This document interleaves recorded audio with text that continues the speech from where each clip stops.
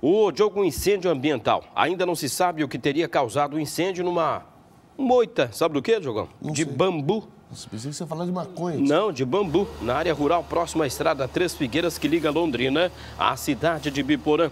Mas a ação rápida do Corpo de Bombeiros evitou que o fogo se alastrasse. Nós temos aí, né, o John, uma sonora aí com o pessoal do Corpo de Bombeiros.